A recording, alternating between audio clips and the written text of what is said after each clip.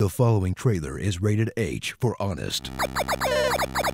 From the company that's slowly replacing our entire culture with reboots and spin offs comes a game that truly does justice to the Spider Man franchise. And finally, let you fully live out your fantasy of being a penniless nerd whose best friend is an old woman Spider Man. Slip on the breathable lycra onesie of the Spidered Man as you leave behind the era of journalism, upside down kisses, and an incredibly bored sounding Tobey Maguire for a hipper, more relatable Spider Youth who can't get his personal life together. Despite the fact that he's also the world's most competent super sleuth, athlete, and brilliant scientist, and who's not just cozy with the city cops, but actively working to expand the surveillance state. In a spider simulation that accurately captures the experience of being a radioactive millennial. Because let's be honest, if you were Spider Man, you'd definitely still take the subway all the time. Swing your way into Spider Man's pitch perfect traversal system that finally blows Spider Man 2's much beloved gameplay out of the water. With swinging that feels like it has real momentum and physics, except for when you pause in midair to throw something or just jog up the side of a wall. And enough different movement options to make traveling around the city inherently fun.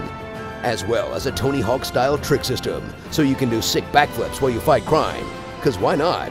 In gameplay that will have you collecting all the tedious bullshit they packed into their open world New York just to have an excuse to swing around some more.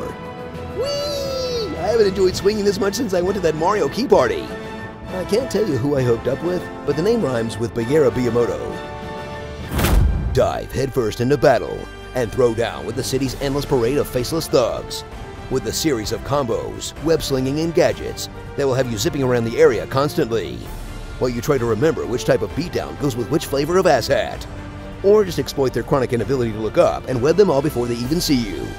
As you fulfill your role as a kinder, gentler brand of superhero that refuses to kill, and settles for merely causing severe head trauma and kicking dudes off the sides of buildings.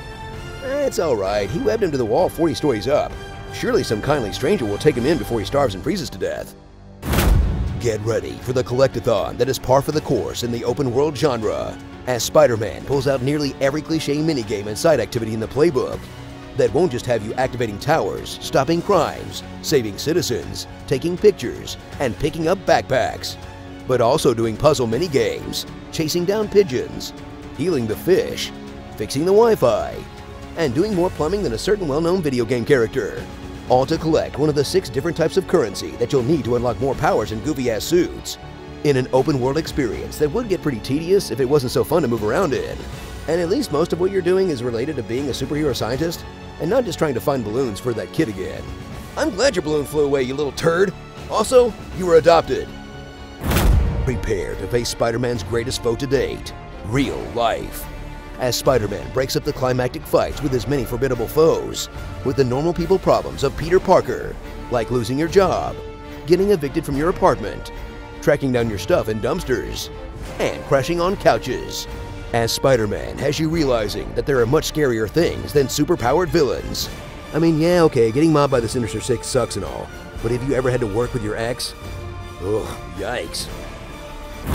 So weave your way past the tangled web of uninspired open worlds and into a superior superhero experience that will keep you squeezing out the last drops.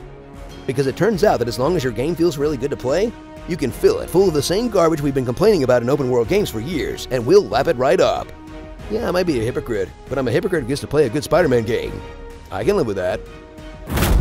Starring post puberty Tom Holland, Lois Jane, Spider Boy, Brooklyn Nine-Nine, Too Much Sugar Water, Meryl Streep with handguns, Dr. Handsy, Innuendo Man, Zapdos OC, Do Not Steal, Rocksteady, Familiar Gimmick Man, Colonel Sanders, Photoshop Filter Man, The Excel Spreadsheet, and Alex Jonah Jameson, Grand Theft Arachnid. You can totally tell it's a fantasy world because Spider-Man's Twitter replies aren't full of horrible racism. Comment below on what you want me to read in my epic voice. Beg that I succeed, for I have seen the throne of the gods, and it was empty. Helping people and killing people is what I do best. Death to all pigeons. Swooping is bad.